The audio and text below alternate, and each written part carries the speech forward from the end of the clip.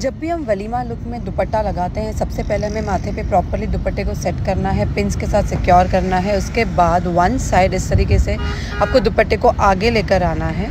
And उस दुपट्टे को मैंने जैसे प्लीट किया है, वैसे सिंगल प्लीट कीजिए कॉर्नर में और उसके बाद आप एक साइड एक शोल्डर के ऊपर पिंस के साथ लगाना है। मैं यहाँ पे आपको लगा के दिखा रही हूँ। देखिए, मैंने ये ऊपर का पार्ट उठा लिया है और वहाँ पे मैंने पिंस लगा दूँगी ताकि वो वहाँ पे सिक्योर हो जाए।